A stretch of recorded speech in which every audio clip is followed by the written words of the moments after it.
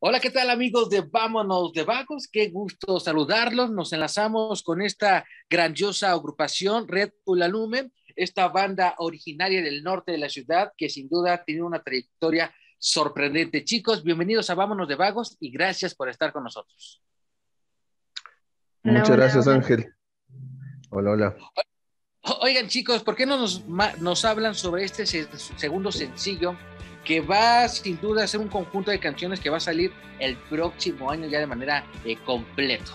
Creo que son demasiadas, demasiados sentimientos. Creo que sí le hemos puesto demasiado corazón a esto que, está por, por salir. Bueno, lo que ya fue Loveless y, Signs of Weakness que en semanas, bueno, en días pasados se estrenó, pues sí tiene pues mucho corazón. Le hemos puesto bastante empeño a, esta pues esta nueva rolas, ¿no? Para, para nosotros sí es como una nueva, una nueva etapa.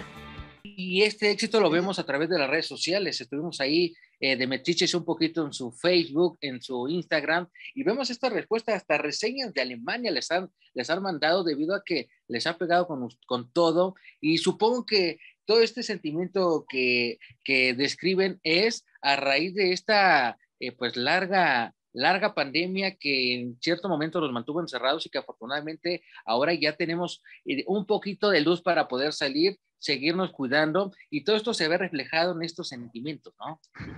Ah, en cuestiones artísticas, pues todas las bandas, la mayoría, este, tuvimos ese problema de, ¿y ahora qué vamos a hacer, no? Porque algunas ya este, trabajan o han trabajado a distancia, pero en nuestro caso, este, lo que fue el primer sencillo, de plano esa, esa canción la, pues la fuimos armando a distancia.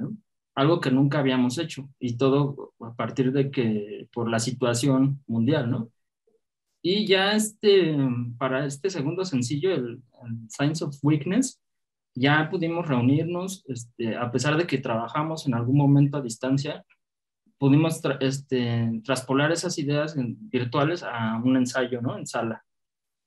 Y luego enfrentarnos a estos duendecillos latosos, ¿no, chicos? Con la tecnología, eh, el reunirse, en unificar todos estos proyectos y dar un resultado, sin duda, ha de ser emocionante para ustedes ya eh, todo este trabajo que fueron creando y que ahora ya tiene una, una luz propia y lo que continúa eh, más adelante. Pero nos llama, nos llama la atención esta portada que ponen sobre el contraste del blanco y el negro, obviamente haciendo referencia a, la agrupación. Pero ¿por qué esta flor?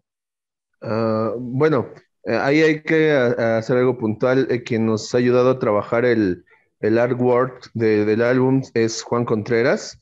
Él ha sido, pues, por ahí también una, una pieza importante para, pues, todo este impulso de, de, de la banda. Este, en realidad la, idea eh, pues tiene que ver un poquito como pues esa ambigüedad a veces también que, tiene que ver eh, con nuestras canciones, con nuestra música, con el género inclusive donde nos movemos, que es eh, un, tipo post-punk, new wave, no tan oscuro, pero que tiene ciertos tonos melancólicos, ciertos alitos de tristeza por ahí dentro de, de nuestras composiciones. Entonces, eh, creímos que pues era bueno, no sé, como eh, mm, en, una imagen tratar de proyectar lo que, lo que estamos haciendo junto con la música como con la letra, ¿no? O sea, es una especie de, por ejemplo, la letra que es, eh, tiene un mensaje como muy melancólico, eh, y, escuchas la música y es tal vez un poquito hasta tonos bailables o, da otro, sí, tiene otro, otro sentido, ¿no? Entonces, el hecho de que estuviera la rosa ahí como diciendo, bueno, es una, es una figura que, que siempre ha existido, que nos, eh, eh, que nos hace referencia a cierto tipo de sentimientos y aparte como verla cómo se va difuminando, pues viene como que en este sentido de, debilidad, ¿no? Que en, traducción es lo que, lo que significa, ¿no? Signs of weakness, signos de debilidad. Van a terminar este, este año con este segundo, sencillo y cómo van a empezar el que viene, eh, ya afortunadamente, como lo hemos dicho, con un panorama muy distinto a comienzos de este. El siguiente año, bueno, Camau, vamos a empezar con dos nuevos sencillos que, que también son muy buenos, uno que se llama Valium y la otra que se llama Entering Now, no sé si lo pronuncié bien. Vamos a empezar con, con, esos dos sencillos, lo que viene el siguiente de año.